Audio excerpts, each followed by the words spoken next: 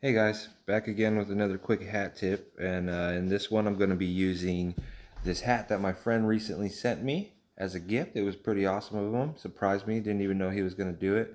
Uh, and it was meant to be a beater hat because when it came it was filthy, it was covered in a bunch of old, you know, decades of dust and dirt and it just looked lighter with white color to it. And uh, so far I've got it pretty cleaned up um, you can still see some stuff on the brim. This is this is worn felt, so I'll steam it and and work the fibers in together and try to get it a little bit um, more uniform. It, this there's almost a hole worn through here, and you can see a bit worn through the crease. So when I do bash this, I'll probably just give it a similar crease to what it had. Um, but so far it's as clean as possible.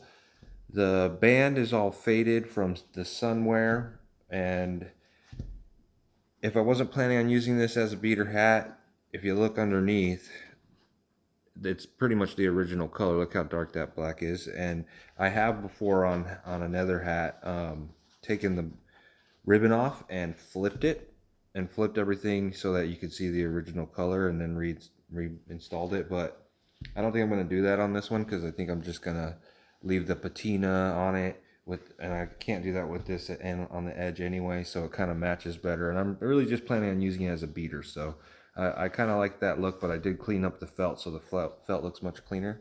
But this whole video is going to pertain to a certain problem that I do have with the hat and that is you'll see this on a lot of old hats especially the old 50s hats. This is probably late 50s right into the 60s almost um, but on hats of that era, the men like to wear a lot of grease in their hair, and so you'll get a lot of that grease on the liner here. And this one was really sticky. You could actually feel it on your forehead, and it's kind of grossing me out. So I wanted to clean it. So what I would normally do to clean something like that is take the liner out and and hand wash it with some laundry detergent like OxiClean or something like that. But uh, usually it'll be either base stitched in or it'll be glued in. So uh, this one I could see it was glued when I lift, but if you look here, if you can see those little stitches, those stitches are actually what's holding the ribbon on and I don't want to have to deal with all of that.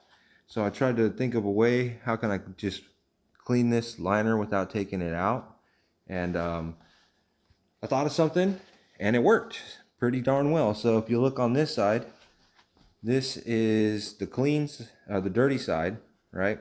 And then this is the clean side of what I already did because I obviously wanted to test my idea before I shared it. So it's really simple actually, and I think you guys will enjoy this. All I did was uh, I found these heavy duty hand wipes at the 99 cent store or something like that. and it says it cleans oil, grease, dirt, and more. And so I figured, hey, why not try that? I also did get these disinfectant wipes. The main ingredient in it is alcohol, which won't really damage the liner. Um, but it didn't work that well because it dried too quickly, didn't clean it as well. But these wipes are meant for cleaning, you know, greasy hands and whatnot in the shop. And it actually works really well.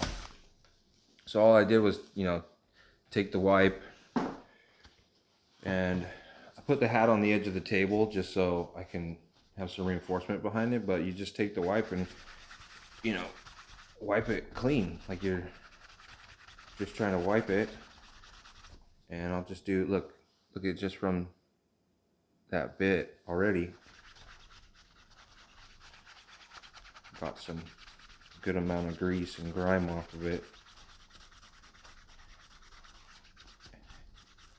And a lot of times I won't even really clean the liner. A lot of times I'll just disinfectant spray the inside of the hat like you would some bowling shoes or something like that. But this one you can really feel the grease and the grime on your forehead and it was all sticky. so I decided to try this and it worked pretty darn well. See all the grime coming off. Now you can see it looks similar to how it did, but that's just because it's wet. As it as it after it dries, it'll look a lot better. Here, I'll do a portion here, and all I'm doing is just wiping it off.